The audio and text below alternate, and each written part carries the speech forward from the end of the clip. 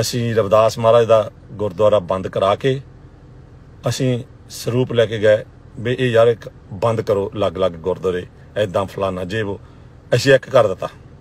ਤੁਸੀਂ ਵਿਸ਼ਵਾਸ ਕਰਿਓ, ਉਸ ਗੁਰੂ ਘਰੋਂ ਨਹੀਂ ਉਹ ਕਹਿੰਦੇ ਵੀ ਚਲੋ ਵੀ ਹੁਣ ਗੁਰਦੁਆਰਾ ਇੱਕ ਹੋ ਗਿਆ, ਰਵਿਦਾਸ ਮਹਾਰਾਜ ਦਾ ਵੀ ਹੁਣ ਮਨਾਉਣਾ ਪੈਣਾ ਗੁਰਪੁਰਬ ਹੈ ਨਾ ਵੀ ਉਹ ਵੀ ਮਨਾਉਣਾ ਪੈਣਾ। ਵੀ ਇਦਾਂ ਕਰਦੇ ਆ ਯਾਰ, ਫੋਨ ਕਰਦੇ ਆ ਦਲਵਾਗ ਨੂੰ। ਮੈਨੂੰ ਫੋਨ ਕੀਤਾ, ਉਹਨਾਂ ਦੇ ਬੈਠੇ ਸੀ ਸਾਰੇ ਕਮੇਟੀ ਵਾਲੇ ਭਰਾ ਸਾਡੇ। ਤੇ ਸੈਕਟਰੀ ਸਾਹਿਬ ਦਾ ਫੋਨ ਆ ਗਿਆ। ਕਹਿੰਦੇ ਦਲਵਾਗ ਜੀ ਵੀ ਰਵਦਾਸ ਮਹਾਰਾਜ ਦਾ ਜਨਮ ਮਨਾਉਣਾ ਵੀ ਲੰਗਰਾਂ ਦੀ ਸੇਵਾ ਲੈ ਲਓ। ਮੈਂ ਕਿਹਾ ਵੀ ਠੀਕ ਆ ਮੈਂ ਕਿਹਾ ਪਰ ਗੱਲ ਆ ਵੀ ਜਦੋਂ ਗੁਰੂ ਗੁਰੂ ਗੋਬਿੰਦ ਸਿੰਘ ਜੀ ਦਾ ਗੁਰਪੁਰਬ ਆਉਂਦਾ ਜਾਂ ਗੁਰੂ ਨਾਨਕ ਦੇਵ ਜੀ ਦਾ, ਉਦੋਂ ਨਹੀਂ ਕਦੇ ਤੁਸੀਂ ਕਾਲ ਕੀਤੀ ਮੈਨੂੰ ਵੀ ਲੰਗਰਾਂ ਦੀ ਸੇਵਾ ਲੈ ਲਓ। ਵੀ ਰਵਦਾਸ ਮਹਾਰਾਜ ਦੀ ਦੁਆ ਜਨਮ ਦਿਨ ਮਨਾਉਣਾ ਤਾਂ ਕਿਉਂ ਮੈਨੂੰ ਕਹਿੰਦੇ ਲੰਗਰਾਂ ਦੀ ਸੇਵਾ ਲੈ ਲਓ। ਉਹਨੂੰ ਜਵਾਬ ਨਹੀਂ ਆਇਆ। ਭਰਾ ਮਿੱਤਰ ਹੀ ਆ ਸਾਡਾ। ਫੋਨ ਕੱਟ ਗਿਆ। ਤੇ ਫਿਰ ਕਮੇਟੀ ਵਾਲਿਆਂ ਨੇ ਕਿਹਾ ਵੀ ਤੂੰ ਇਹ ਗੱਲ ਕਹਿ ਵੀ ਇਦਾਂ ਦਾ ਕਰਕੇ ਵੀ ਜਦੋਂ ਵਿਅਕਤੀ ਵਿਸ਼ੇਸ਼ ਦਾ ਜਨਮ ਦਿਨ ਮਨਾਈਦਾ ਤਾਂ ਉਦੋਂ ਅਸੀਂ ਸੇਵਾ ਲਈ ਕਾਲ ਕਰਦੇ ਆ ਤੇ ਉਹ ਉਦਾਂ ਨਹੀਂ ਕਰੀਦੀ। ਉਹ ਫੇਰ ਮੇਰੀ ਕਾਲ ਆ ਗਈ ਦੁਬਾਰਾ। ਕਹਿੰਦੇ ਦਲਵਾਗ ਸਿੰਘ ਜੀ ਜਿਹਦਾ ਬੁੱਢਾ ਸਿੰਘ- ਬੁੱਢਾ ਬਾਬਾ ਬੁੱਢਾ ਜੀ ਦਾ ਜਨਮ ਦਿਨ ਮਨਾਉਂਦੇ ਆ ਤੇ ਰੰਧਾਵੇ, ਗੋਤ ਦੇ ਜਿਹੜੇ ਹੈਗੇ ਆ ਭਾਈ, ਉਹ ਉਹਨਾਂ ਦਾ ਲੰਗਰਾਂ ਦੀ ਸੇਵਾ ਕਰਦੇ ਆ। ਇਸ ਕਰਕੇ ਜਦੋਂ ਵਿਅਕਤੀ ਵਿਸ਼ੇਸ਼ ਦਾ ਜਨਮ ਦਿਨ ਮਨਾਉਨੇ ਆ ਤਾਂ ਅਸੀਂ ਇਦਾਂ ਕਾਲ ਕਰਦੇ ਆ। ਮੈਂ ਕਿਹਾ ਵੀ ਰਵਦਾਸ ਮਹਾਰਾਜ ਤਾਂ ਵਿਅਕਤੀ ਵਿਸ਼ੇਸ਼ ਨਹੀਂ ਉਹਨਾਂ ਦੀ ਤਾਂ ਬਾਣੀ ਆ ਵਿੱਚ। ਗੁਰੂ ਗ੍ਰੰਥ ਸਾਹਿਬ ਦੇ ਉਹ ਤਾਂ ਤੁਹਾਡੇ ਗੁਰੂ ਆ, ਸਾਰਿਆਂ ਦੇ ਆਪਣੇ। ਫੇਰ ਉਹ ਚੁੱਪ, ਫੇਰ ਉਹਨੂੰ ਮੈਂ ਦੱਸਿਆ, ਮੈਂ ਕਿਹਾ ਗੱਲ ਸੁਣ। ਮੈਂ ਕਿਹਾ ਵੀ ਤੈਂ ਪਤਾ ਕਾਤੇ ਕਾਲ ਕੀਤੀ ਹੈ ਮੈਨੂੰ? ਮੈਂ ਕਿਹਾ ਵੀ ਤੈਂ ਇਸ ਕਰਕੇ ਕਾਲ ਕੀਤੀ ਆ ਵੀ ਰਵਦਾਸ ਮਹਾਰਾਜ ਵੀ ਚਮਾਰਵਾ ਵੀ ਦਲਵਾਗ ਵੀ ਚਮਾਰਵਾ ਵੀ ਜਾਤ ਨਾਲ ਜਾਤ ਮਿਲਾ ਕੇ ਤਾਂ ਇਦਾਂ ਕਰਾ ਲੈਂਦੇ ਆ। ਮੈਂ ਕਿਹਾ ਇਹ ਤੁਹਾਡਾ ਬਿਜ਼ਨਸ ਵਾ।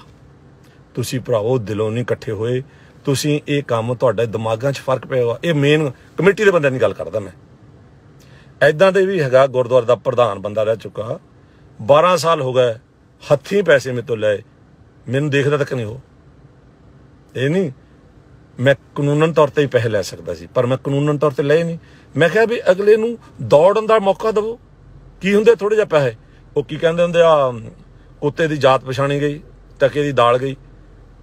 ਮੈਂ ਕਹਿੰਦਾ ਮਤਲਬ ਮੇਰੇ ਨਾਲ ਦੇਖਦਾ ਵੀ ਨਹੀਂ ਐਦਾਂ ਦੇ ਲੋਕ ਹੋ ਯਾਰ, ਧਰਮ ਤੇ ਕਬਜ਼ਾ ਕਰਕੇ ਕ- ਧਰਮ ਤੇ ਕਬਜ਼ਾ ਕਰਕੇ ਐਦਾਂ ਦੇ ਲੋਕ ਬੈਠੇ ਆ ਤੂੰ, ਜਿਨ੍ਹਾਂ ਦੇ ਮਨ ਚ ਮਾਨਸਿਕਤਾ, ਜਾਤੀ ਵਿਵਸਥਾ ਜਾਂਦੀ ਨਹੀਂ ਤੇ ਦੂਜੇ ਧਰਮ ਨੂੰ ਕਿਦਾਂ ਟੋਲਰੇਟ ਕਰੂਗੇ? ਇਹ ਤਾਂ ਕਹਿੰਦੇ ਬਾਹਰੋਂ ਧਰਮ ਆਇਆ ਕ੍ਰਿਸਚੀਅਨ ਧਰਮ, ਤੇ ਰੱਬ ਰੱਬ ਕਿੱਥੇ ਦਾ ਇਹ ਪੁੱਛਣ ਵਾਲਾ ਹੋਵੇ? ਰੱਬ ਤਾਂ ਸਾਰੀ ਦੁਨੀਆ ਦਾ ਇੱਕੋ ਹੀ ਆ। ਰੱਬ ਤਾਂ ਸਾਰੀ ਦੁਨੀਆ ਦਾ ਇੱਕੋ ਹੀ ਆ, ਤੇ ਕ੍ਰਿਸਚੀਅਨ ਕੋਈ ਧਰਮ ਨਹੀਂ। ਕ੍ਰਿਸਚੀਅਨ ਮ- ਮਤਲਬ ਪਾਵਰ ਮੱਸਾ ਅਨੋਇੰਟਿੰਗ ਤੇ ਸਿੱਖ ਰੈਵੋਲੂਸ਼ਨ ਮੁਸਲਮਾਨ ਮੂਸਾ ਦੀ, ਤੇ ਜਿਹੜੇ ਮਾਨ ਰੱਖਦੇ ਸੀ, ਹੁਣ ਉਹ ਮੂਸਾ ਤੇ ਵੀ ਨਹੀਂ ਮਾਨ ਰੱਖਦੇ, ਉਹ ਮੁਹੰਮਦ ਜੀ ਤੇ ਉਹਨਾਂ ਦੀ ਸ਼ਰੀਅਤ ਨੂੰ ਮਾਨ ਕਰਦੇ ਆ, ਤੇ ਯਹੂਦੀ ਮੂਸਾ ਤੇ ਮਾਨ ਕਹਿੰਦਾ ਮਤਲਬ ਯਾਰ ਸਾਡੀਆਂ ਲੜਾਈਆਂ, ਸਾਡੀਆਂ ਵੰਡੀਆਂ, ਤੇ ਕਿਹੜੀ ਕਿਹੜੀ ਖਾਤਰ ਲ- ਲੜਦੇ ਆ? ਇਸ ਕਰਕੇ ਪੰਜਾਬ ਨੂੰ ਆਰਐਸਐਸ ਦੇ ਮਗਰ ਲਾ ਕੇ, ਹਿੰਦੂ ਰਾਸ਼ਟਰ ਵਾਲਾਂ ਦੇ ਮਗਰ ਲਾ ਕੇ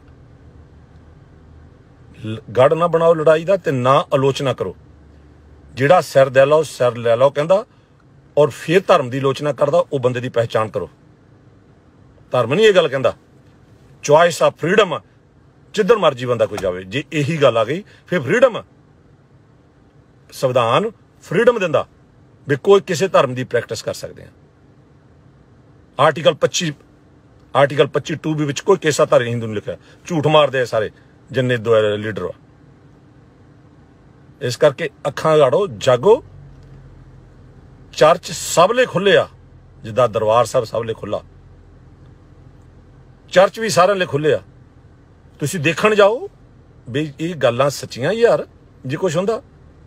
ਆਲੋਚਨਾ ਕਿਉਂ ਕਰਦੇ ਆ? ਵੱਡੇ ਵੱਡੇ ਪ੍ਰਚਾਰਕ ਆਲੋਚਨਾ ਕਰਦੇ ਆ ਬਿਨਾਂ ਮਤਲਬ ਤੋਂ। ਬਿਨਾਂ ਮਤਲਬ ਤੁਸੀਂ ਆਲੋਚਨਾ ਕਰੀ ਜਾਂਦੇ ਆ। ਤੁਹਾਨੂੰ ਤਾਂ ਉਹ ਪੇਪਰ ਜਿਹੜੇ ਵੰਡਣ ਆਉਂਦੇ, ਉਹਨਾਂ ਤੋਂ ਡਰ ਲੱਗਣ ਲੱਗਾ ਤੁਸੀਂ ਕਿੱਦਾਂ ਦਲੇਰ ਕਿੱਧਰੋਂ ਹੋ ਗਏ?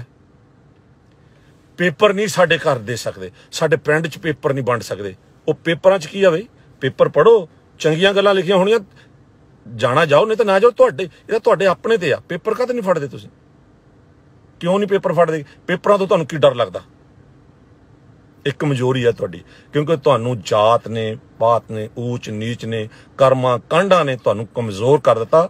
ਤੁਸੀਂ ਸਿਧਾਂਤ ਪਕੜਿਆ ਹੀ ਨਹੀਂ ਹੈਗਾ। ਇਸ ਕਰਕੇ ਤੁਹਾਨੂੰ ਬਾਈਬਲ ਦਾ ਜੋ ਪ੍ਰਚਾਰ ਕਰਦੇ ਆ, ਉਹ ਤੋਂ ਡਰ ਲੱਗਦਾ ਸਿਧਾਂਤ ਤੋਂ ਤੁਹਾਨੂੰ। ਤੁਸੀਂ ਕਹਿੰਦੇ ਆ ਵੀ ਜਿਹੜੇ ਪਿੰਡ ਦੇ ਗਰੀਬ ਲੋਕ ਆ, ਇਹ ਇਹ ਦਲਿਤ ਬਣ ਕੇ ਰਹਿਣ ਇਸ ਆਉਣ ਗੁਰਦੁਆਰਿਆਂ 'ਚ ਪਰ ਰੱਖਣ ਵੀ ਲੱਗ, ਸੇਵੇ ਵੀ ਲੱਗ ਹੋਣ, ਪਰ ਇਹ ਗਿਣਤੀ ਸਾਡੇ 'ਚ ਹੋਵੇ। ਜਿੱਦਾਂ 3.5% ਜਿਹੜਾ ਬ੍ਰਾਹਮਣ ਆ, ਉਹ ਕਹਿੰਦਾ ਭਾਰਤ ਦੇ 85% ਜਿਹੜੇ ਸ਼ੂਦਰ ਆ ਨਾ, ਇਹਨਾਂ ਦੀ ਗਿਣਤੀ ਸਾਡੇ 'ਚ ਹਿੰਦੂਆਂ 'ਚ ਹੋਵੇ, ਪਰ ਰਹਿਣ ਸਾਡੇ ਤੋਂ ਨੀਵੇਂ। 85% ਲੋਕਾਂ ਨੂੰ ਡਿਵਾਈਡ ਕਰਕੇ ਉਹਨਾਂ ਤੇ ਰਾਜ ਕਰਨ ਦੀ ਗੱਲ ਤਾਂ 3.5% ਜਿਹੜੇ ਬ੍ਰਾਹਮਣ ਉਹ ਕਰਦੇ ਆ, ਆਪਣੇ ਆਪ ਨੂੰ ਹਿੰਦੂ ਤਾਂ ਕਹਾਂਦੇ ਆ ਕਿ ਆਪਣੇ ਆਪ ਨੂੰ ਬਹੁਤ ਗਿਣਤੀ ਭਾਰਤ ਵਿੱਚ ਕਹਿਣ। ਤੇ ਉਹਨਾਂ ਨੇ ਗਾਈਆਂ ਵੀ ਰਲਾ ਲਈਆਂ, ਵੀ ਇਹ ਇਹ ਤੇ ਵੀ ਗਾਈ ਤੇ ਵੀ ਸਾਡੀ ਆਸਤਾ ਤੇ ਗਾਈਆਂ ਵੀ ਤੁਹਾਨੂੰ ਬੌਦਰ ਕਰਦੀਆਂ, ਤੇ ਉਹ ਦੇਖ ਪ- ਖੁੱਲੀਆਂ ਪਈਆਂ ਤਾਂ ਐਕਸੀਡੈਂਟ ਹੁੰਦੇ, ਬੰਦੇ ਮਰਦੇ ਆ। ਤੁਸੀਂ ਕਹਿ ਨਹੀਂ ਸਕਦੇ ਵੀ ਇੱਕ ਲਾ ਬਣਾਓ ਭਾਈ, ਜੇ ਤੁਹਾਡੀਆਂ ਮਾਵਾਂ ਦਾ ਘਰ ਰੱਖੋ, ਤੁਸੀਂ ਕਹਿ ਨਹੀਂ ਸਕਦੇ। ਕਿਉਂਕਿ ਇਹ ਬਹੁ ਗਿਣਤੀ ਬਣਨ ਦਾ ਉਹਦਾ ਤਰੀਕਾ ਆ ਵੀ ਮੈਂ ਬਹੁ ਗਿਣਤੀ ਕਿੱਦਾਂ ਬਣਾ, ਕਿੱਦਾਂ ਇਹਨਾਂ ਲੋਕਾਂ ਨੂੰ ਗੁਲਾਮ ਰੱਖਾਂ। ਉਹ ਉਹਦੀ ਇਹ ਸਟ੍ਰੈਟਜੀ ਆ। ਤੇ ਉਸੇ ਸਟ੍ਰੈਟਜੀ ਨੂੰ ਤੁਸੀਂ ਫਾਲੋ ਕਰਦੇ ਆ ਵੀ ਪਿੰਡਾਂ ਦੇ ਵਿੱਚ ਪ੍ਰਚਾਰਕ ਨਹੀਂ ਵੜਨੇ ਚਾਹੀਦੇ ਕ੍ਰਿਸਚੀਅਨਿਟੀ ਦੇ, ਤਾਂ ਕਿ ਸਾਡੇ ਜਿਹੜੇ ਗਰੀਬ ਲੋਕ ਆ ਪਿੰਡ ਦੇ ਕਿਤੇ ਚਰਚਾਂ 'ਚ ਨਾ ਜਾਣ ਲੱਪਣ ਜੇ ਇਹ ਚਰਚਾਂ ਵਿੱਚ ਜਾਣ ਲੱਪੈ ਫਿਰ ਸਾਡੀ ਗਿਣਤੀ ਘਟ ਜਾਣੀ ਆ। ਸਾਡੀ ਗਿਣਤੀ ਘਟ ਜਾਣੀ ਆ ਅਸੀਂ ਇਹਨਾਂ ਨੂੰ ਗਿਣਤੀ ਦੇ ਵਿੱਚ ਵੀ ਰੱਖਣਾ ਤਾਂ ਪਰ ਰੱਖਣਾ ਵੀ ਨਿਯਮਿਤ ਹੈ। ਮਿੱਤਰੋ ਗੋਡ ਇਹ ਚੀਜ਼ ਲਾਈਕ ਨਹੀਂ ਕਰਦਾ। ਇਹ ਕੰਮ ਤੁਹਾਡੇ ਵਸੋਂ ਬਾਹਰ ਆ। ਦੁਨੀਆ ਸਮਝ ਚੁੱਕੀ ਆ। ਲੋਕੀ ਚਰਚਾਂ 'ਚ ਜਾਂਦੇ ਆ, ਲੋਕਾਂ ਨੇ ਜਾਣਾ ਬਿਲਕੁਲ ਨਹੀਂ ਹਟਣਾ ਔਰ ਹਟਣਾ ਚਾਹੀਦਾ ਵੀ ਨਹੀਂ। ਕਿਉਂਕਿ ਧਰਮ ਦੇ ਨੌ ਇਨਸਾਨਾਂ ਨੇ ਰੱਖਿਆ ਧਰਮ ਇੱਕੋ ਆ ਔਰ ਉਹ ਨਿਭਾਉਣਾ ਹੁੰਦਾ। ਫਰਜ਼ ਸਿਰਫ ਨਿਭਾਉਣਾ ਹੁੰਦਾ। ਫਰਜ਼ ਦੇ ਨੌ ਰੱਖ ਕੇ ਉਹਦੇ ਮੁਤਾਬਕ ਭੇਸ ਬਦਲ ਕੇ ਲੋਕਾਂ ਨੂੰ ਨਹੀਂ ਦਿਖਾਣਾ ਹੁੰਦਾ ਕਿ ਮੈਂ ਫਲਾਨਾ, ਮੈਂ ਧਮਕੜਾ ਆ। ਇਸ ਕਰਕੇ ਰੱਬ ਜਿਹੜਾ ਜਿਹੜਾ ਗੋਡ ਆ, ਉਹ ਆਪਣੇ ਐਕਸ਼ਨ ਦੇ ਵਿੱਚ ਆ ਚੁੱਕਾ, ਜਿਹਨੂੰ ਆਪਾਂ ਕੋਈ ਵੀ ਨਹੀਂ ਸੀ ਮੰਨਦੇ। ਉਹ ਐਕਸ਼ਨ ਵਿੱਚ ਆ ਚੁੱਕਾ। ਉਹ ਸ਼ਰੇਆਮ ਮਿਰਕਲ ਕਰਦਾ। ਉਹ ਸ਼ਰੇਆਮ ਚਰਚਾਂ 'ਚ ਭੀੜ ਹੋਈ ਆ। ਸ਼ਰੇਆਮ ਚ ਖੁੱਲ ਰਹੀਆਂ। ਤੁਹਾਡੇ ਤੁਹਾਡੇ ਬਸ ਤੋਂ ਬਾਹਰ ਦੀ ਗੱਲ ਆ ਹਾਂ, ਤੁਸੀਂ ਕਤਲੋਗਾਰਤ ਕਰ ਸਕਦੇ ਆ ਆਰਐਸ ਮਗਰ ਲਾ ਕੇ, ਏਜੰਸੀਆਂ ਮਗਰ ਲਾ ਕੇ। ਪਰ ਉਹ ਵੀ ਤੁਹਾਨੂੰ ਸਮੇਂ ਤੇ ਆ ਕੇ ਮਹਿੰਗੀ ਪੈਣੀ ਆ। ਤੁਸੀਂ ਅੰਦਰ ਜਾਓਗੇ ਤੇ ਬਾਹਰਲੇ ਦੇਸ਼ਾਂ 'ਚ ਬਦਨਾਮ ਹੋਵੋਗੇ ਤੇ ਬਾਹਰ ਵੀ ਤੁਹਾਡੇ ਅਗੇਂਸਟ ਐਕਸ਼ਨ ਹੋਊਗੇ, ਲੋਕੀ ਕਹੋਗੇ ਵੀ ਭਾਈ ਇਹ ਇਹੀ ਲੋਕ ਨੇ। ਇਹ ਸੱਚਾਈ ਮੈਂ ਤੁਹਾਨੂੰ ਦੱਸ ਰਿਹਾ। ਸੱਚਾਈ ਦੱਸ ਰਿਹਾ ਮੈਂ ਤੁਹਾਨੂੰ। ਇਸ ਸੱਚਾਈ ਨੂੰ ਫੋਲੋ ਕਰੋ।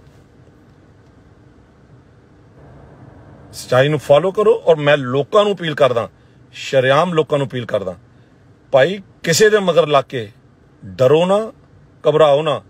ਤੁਹਾਨੂੰ ਧਰਮ ਅਪਣਾ ਕੇ ਵੀ ਲੋਕਾਂ ਨੇ ਗੁਲਾਮ ਸਮਝਿਆ, ਧਰਮ ਅਪਣਾ ਕੇ ਵੀ ਤੁਹਾਨੂੰ ਜੁੱਤੀ ਦੇ ਬਰਾਬਰ ਸਮਝਿਆ, ਉਸ ਭੀੜ ਦਾ ਕਦੇ ਵੀ ਹਿੱਸਾ ਨਾ ਬਣੋ, ਜਿਹੜੀ ਭੀੜ ਦੇ ਲੋਕ ਊਚ ਨੀਚ ਵਿੱਚ ਵਿਸ਼ਵਾਸ ਰੱਖਦੇ ਆ। ਜਿਹੜੀ ਭੀੜ ਦੇ ਲੋਕ ਰੰਗ ਵਿੱਚ ਭੇਸ ਭੂਸਾ ਵਿੱਚ ਵਿਸ਼ਵਾਸ ਰੱਖਦੇ ਆ ਤੇ ਨਫ਼ਰਤ ਕਰਦੇ ਆ, ਉਹ ਭੀੜ ਦਾ ਹਿੱਸਾ ਛੱਡ ਦਿਓ ਧਰਮ ਕੋਈ ਚੀਜ਼ ਨਹੀਂ ਹੈ ਧਰਮ ਸਿਧਾਂਤਾਂ ਨੂੰ ਨਿਭਾਉਣ ਨੂੰ, ਨਿਭਾਉਣ ਦੀ ਗੱਲ ਕਰਦਾ। ਧਰਮ ਕੋਈ ਚੀਜ਼ ਨਹੀਂ ਹੈਗੀ। ਇਸ ਕਰਕੇ ਚਰਚਾਂ 'ਚ ਜਾਓ ਜੇ ਤੁਹਾਨੂੰ ਬਰਾਬਰਤਾ ਮਿਲਦੀ ਹੈ। ਉੱਥੇ ਜਾਣ ਦੀ ਲੋੜ ਨਹੀਂ, ਜਿੱਥੇ ਤੁਹਾਨੂੰ ਅੱਜ ਤੱਕ ਬਰਾਬਰਤਾ ਨਹੀਂ ਮਿਲੀ। ਪਾਣੀ ਦਾ ਸਵਾਇਆ, ਹਵਾ ਦਾ ਸਵਾਇਆ, ਅੱਗ ਦਾ ਸਵਾਇਆ, ਤੇ ਇਹ ਉਹਨਾਂ ਦਾ ਧਰਮ ਹੈ।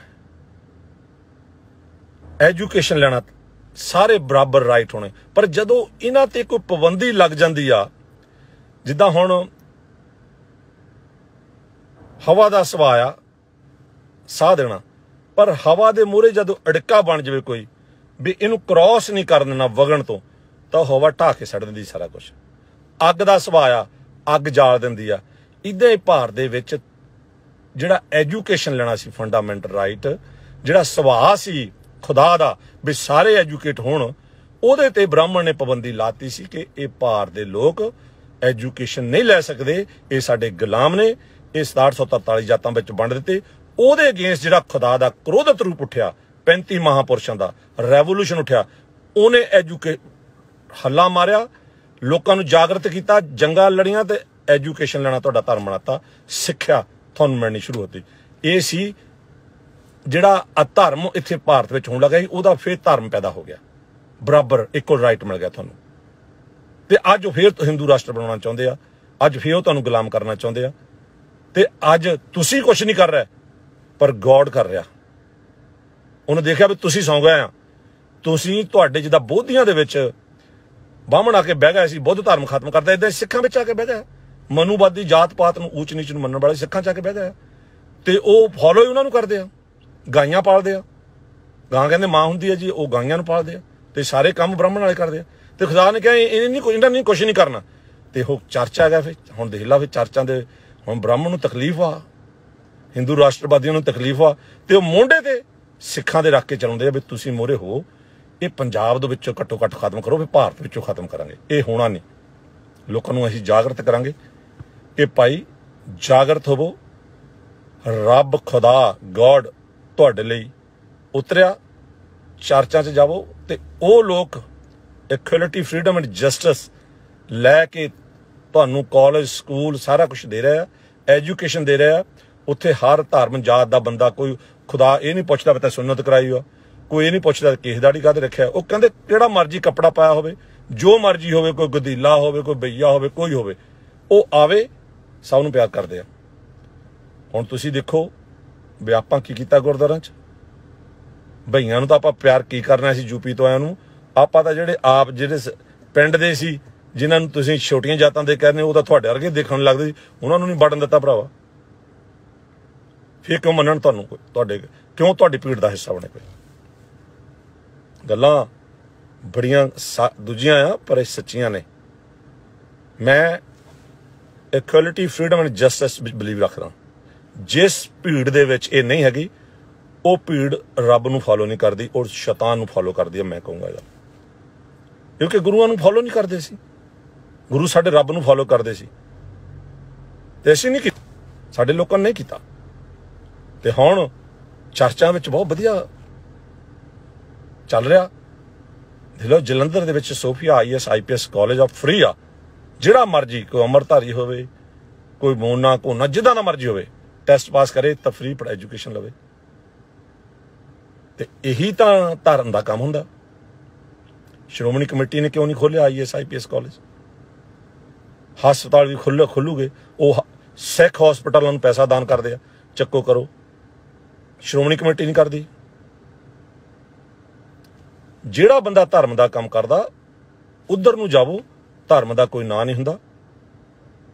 ਅਸੀਂ ਇਹਨਾਂ ਕੰਟਰੀਆਂ ਦੇ ਵਿੱਚ ਬੈਠੇ ਆ because of Bible because of Christianity because of Jesus ਅਸੀਂ ਇਹਨਾਂ ਕੰਟਰੀਆਂ ਵਿੱਚ ਤਰੱਕੀ ਕੀਤੀ ਆ। ਇਸਲਾਮਿਕ ਕੰਟਰੀਆਂ ਦੇ ਵਿੱਚ ਖੰਗਾ ਨਹੀਂ ਦਿੰਦੇ, ਸਿਟੀਜ਼ਨਸ਼ਿਪ ਨਹੀਂ ਦਿੰਦੇ, ਬਰਾਬਰਤਾ ਨਹੀਂ ਦਿੰਦੇ।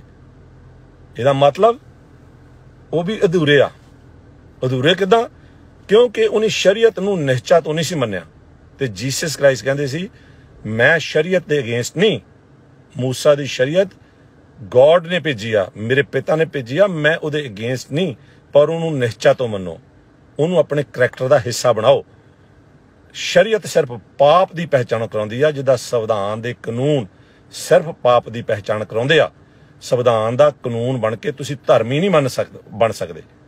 ਧਰਮੀ ਤੁਸੀਂ ਤਾਂ ਬਣ ਸਕਦੇ ਆ, ਜੇ ਉਹ ਸ਼ਰੀਅਤ ਜਾਂ ਕਾਨੂੰਨ ਤੁਹਾਡੇ ਕਰੈਕਟਰ ਦਾ ਹਿੱਸਾ ਹੋਵੇ। ਜੇ ਕਰੈਕਟਰ ਦਾ ਹਿੱਸਾ ਹੋਵੋਗੇ, ਤੁਸੀਂ ਫੜੇ ਨਹੀਂ ਜਾਓਗੇ। ਤੁਸੀਂ ਕ੍ਰਾਈਮ ਕਰੋਗੇ ਨਾ।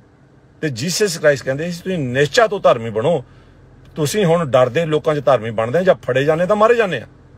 ਤੇ ਇਸਲਾਮ ਨੇ ਇਹ ਗੱਲ ਕਬੂਲ ਨਹੀਂ ਕੀਤੀ, ਜੇ ਇਸਲਾਮ ਇਹ ਗੱਲ ਕਬੂਲ ਕਰ ਲੈਂਦਾ, ਜਿਹੜੀ ਮਿਰਕਲ ਪਾਵਰ ਅੱਜ ਕ੍ਰਿਸਚੀਅਨਿਟੀ ਵਿੱਚ ਹੋ ਰਹੀ ਆ, ਉਹੀ ਉਧਰ ਹੋਣੀ ਸੀ।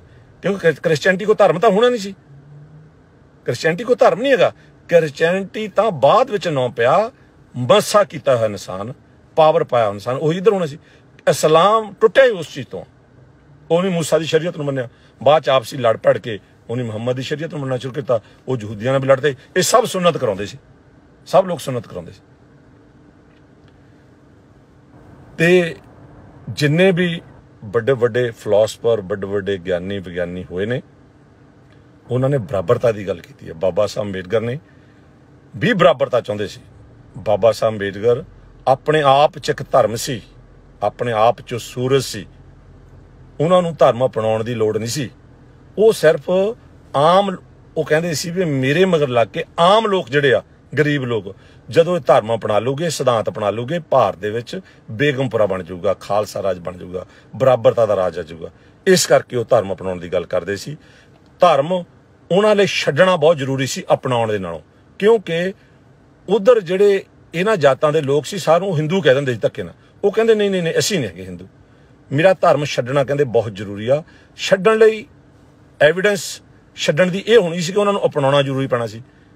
ਇਸ ਕਰਕੇ ਉਹਨਾਂ ਨੇ ਫਿਰ ਬੁੱਧ ਧਰਮ ਅਪਣਾਇਆ ਸੀ, ਕਿਉਂਕਿ ਉਹਨਾਂ ਲਈ ਛੱਡਣਾ ਜ਼ਰੂਰੀ ਸੀ। ਨਹੀਂ, ਇਹੋ ਜਿਹੇ ਪੜ੍ਹੇ ਲਿਖੇ ਬੰਦਿਆਂ ਨੂੰ ਉਹ ਆਪਣੇ ਆਪ ਵਿੱਚ ਸੂਰ ਸੀ ਧਰਮ ਦੀ ਕੋਈ ਜ਼ਰੂਰਤ ਨਹੀਂ ਹੁੰਦੀ। ਧਰਮ ਸਿਰਫ ਤੇ ਸਿਰਫ ਉਹਨਾਂ ਲੋਕਾਂ ਲਈ ਆ, ਜਿਹੜੇ ਲੋਕਾਂ ਨੂੰ ਸਿਧਾਂਤ ਦਾ ਪਤਾ ਨਹੀਂ, ਉਹਨਾਂ ਨੂੰ ਸਿਧਾਂਤ ਨਾਲ ਜੋੜਨ ਦੀ ਗੱਲ ਕਰਦਾ। ਪਰ ਅਸੀਂ ਧਰਮ ਅਪਣਾ ਕੇ ਵੀ ਸਿਧਾਂਤ ਨਾਲ ਟੁੱਟੇ ਹਾਂ। ਸਾਡੇ ਤਾਂ ਬਰਾਬਰ ਤਾਂ ਆਈ ਨਹੀਂ, ਅਸੀਂ ਤੇ ਨਹੀਂ ਦੇਖੀ ਕਦੇ। ਮੈਂ ਤਾਂ ਬਚਪਨ ਤੋਂ ਦੇਖਦਾ ਪਿੰਡਾਂ ਵਿੱਚ, ਸਕੂਲਾਂ ਦੇ ਵਿੱਚ ਉਹ ਗਰੀਬ ਨਿਆਣਿਆਂ ਤੋਂ ਸਫ਼ਾਈ ਦੀ ਬਾਰੀ-ਬਾਰੀ ਗਰੀਬ ਨਿਆਣਿਆਂ ਦੀ ਆਈ ਜਾਣੀ। ਉਹ ਜਿਹੜੇ ਦੂਜੇ ਹੋਣੇ ਸਾਡੇ ਭਰਾ, ਉਹਨਾਂ ਨੂੰ ਬਾਰੀ ਨਾ ਆਉਣੀ।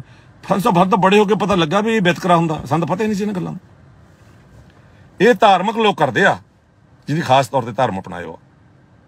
ਇਸ ਕਰਕੇ ਜਿਹੜਾ ਰੈਵੋਲੂਸ਼ਨ ਇੰਡੀਆ ਚ ਆਇਆ, ਚਰਚਾਂ ਵਿੱਚ, ਗੋਡ ਲੈ ਕੇ ਆਇਆ, ਆਈ ਲਵ them ਇਹ ਆਉਣਾ ਚਾਹੀਦਾ ਸੀ। ਤਾਂ ਕਿ ਧਾਰਮ ਕੀੜੇ ਜਿਹੜੇ ਆ, ਧਰਮ ਨੂੰ ਚਮੜੇ ਆ ਸਿਧਾਂਤਾਂ ਦੇ ਉਲਟ ਕੰਮ ਕਰਦੇ ਆ, ਉਹਨਾਂ ਨੂੰ ਅਕਲ ਆਵੇ, ਉਹਨਾਂ ਦਾ ਦਿਮਾਗ ਖੁੱਲੇ। ਇਹ ਬਹੁਤ ਵਧੀਆ ਗੱਲ ਹੈ। ਕਿਉਂਕਿ ਧਾਰਮਿਕ ਰੈਵੋਲੂਸ਼ਨ ਵੀ ਆਉਣਾ ਚਾਹੀਦਾ ਸੀ। ਇਹ ਰੈਵੋਲੂਸ਼ਨ ਸਾਡੇ ਬਾਬਾ ਸਾਹਿਬ ਅੰਬੇਦਕਰ ਲੈ ਕੇ ਆਉਣਾ ਚਾਹੁੰਦੇ ਸੀ, ਪਰ ਉਸ ਵੇਲੇ ਮਨੂਵਾਦੀਆਂ ਨੇ ਪੈਰ ਨਹੀਂ ਲੱਗਣ ਦਿੱਤੇ। ਤੇ ਹੁਣ ਮਨੂਵਾਦੀਆਂ ਦੇ ਪੈਰ ਉਖੜੇ ਆ ਔਰ ਅਖਾੜ ਦਿੱਤੇ ਜਾਣਗੇ।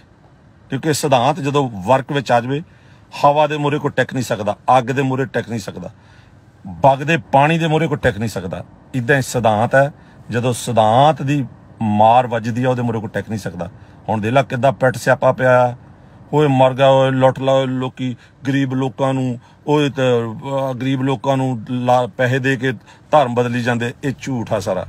ਇਹ ਧਾਰਮਿਕ ਜਿਹੜੇ ਕੀੜੇ ਆ ਨਾ, ਉਹਨਾਂ ਦੀ ਬਖਲਾਹਟ ਹੈ। ਉਹ ਪੈਸੇ ਦਾ ਰੌਲਾ ਆ ਬਈ ਹਾਈ ਸਾਡੇ ਪੈਸਾ, ਪੈਸੇ ਦਾ ਸਾਰਾ ਇਹ ਲੱਗਾ, ਸਾਡਾ ਪੈਸਾ ਕਿੱਥੇ ਜਾਊਗਾ? ਆ ਆਇਆ ਰੌਲਾ, ਕੋਈ ਰੌਲਾ ਨਹੀਂ ਹੋਰ। ਇਹ ਗੱਲ ਯਾਦ ਰੱਖਿਓ, ਕੋਈ ਰੌਲਾ ਨਹੀਂ। ਇਹ ਧਾਰਮਿਕ ਬਖਲਾਹਟ ਹੈ, ਜਿਹੜੇ ਧਰਮ ਨੂੰ ਕੀੜੇ ਚੰਬੜੇ ਸੀ, ਜਾਤੀ ਰੂਪੀ ਕੀੜੇ ਚੰਬੜੇ ਸੀ, ਧਰਮ ਨੂੰ, ਸਿਧਾਂਤ ਨੂੰ ਚੰਬੜੇ ਸੀ। ਇਹ ਉਹਨਾਂ ਦੀ ਬਖਲਾਹਟ ਹੈ। ਇਸ ਕਰਕੇ ਮੇਰੇ ਭਰਾਵੋ ਧਰਮ ਕੋਈ ਨਹੀਂ, ਧਰਮ ਦਾ ਨਾਂ ਕੋਈ ਨਹੀਂ, ਫਰਜ਼, ਡਿਊਟੀ ਟੁਵਰਡਸ ਹਿਊਮਨ ਰਾਈਟਸ ਉੱਚ ਨੀਚ ਇਹਨਾਂ ਲੋਕਾਂ ਤੋਂ, ਇਜ਼ਰਾਈਲੀ ਲੋਕਾਂ ਤੋਂ ਆਈ ਸੀ। ਇਜ਼ਰਾਈਲੀ ਲੋਕਾਂ ਨੇ ਕਿਹਾ ਕਿ ਖੁਦਾ ਨੇ ਸਾਨੂੰ ਚੁਣਿਆ, ਅਸੀਂ ਉੱਚੇ ਲੋਕਾਂ ਇਹਨਾਂ ਦੇ ਭਰਾ ਜਿਹੜੇ ਬੁੱਤ ਪੂਜਕ ਸੀ, ਉਹ ਕਹਿੰਦੇ ਸੀ, ਬ੍ਰਾਹਮਣ ਇਹਨਾਂ ਦੇ ਮ- ਬ੍ਰਹਮਾ ਦੇ ਮੂੰਹ ਚੋਂ ਜੰਮੇ ਆ ਤੇ ਅਸੀਂ ਉੱਚੇ ਆ ਤੇ ਬੁੱਤ ਪੂਜਕਾਂ ਤੇ ਇਜ਼ਰਾਈਲੀਆਂ ਦਾ ਵੀ ਝਗੜਾ ਹੋਇਆ। ਤੇ ਇਹ ਇੱਧਰ ਆ ਕੇ ਵੀ ਭਰਾ, ਇਹ ਕਹਿਣ ਲੱਗ ਪਿਆ ਜੀ, ਅਸੀਂ ਤਾਂ ਜੀ ਉੱਚੇ ਆ ਖੱਤਰੀ ਇੱਥੋਂ ਜੰਮਿਆ, ਪੈਰਾਂ 'ਚੋਂ ਜੰਮਿਆ। ਇਹ ਕਨਸੈਪਟ ਇੱਧਰ ਵੀ ਉਹੀ ਰੱਖਿਆ। ਤੇ ਗਾਹਾਂ ਨਹੀਂ ਜਾਤਾਂ ਪਾਤਾਂ ਦਾ ਕਨਸੈਪਟ ਬਣਾਤਾ। ਤੇ ਇਹ ਜਿਹੜੀ ਊਚ ਨੀਚ ਆ ਇਹ ਇੱਥੋਂ ਹੀ ਆਈ ਹੋਈ ਆ ਸਾਰੀ। ਇਸ ਤਰੀਕੇ ਨਾਲ ਊਚ ਨੀਚ ਪੈਦਾ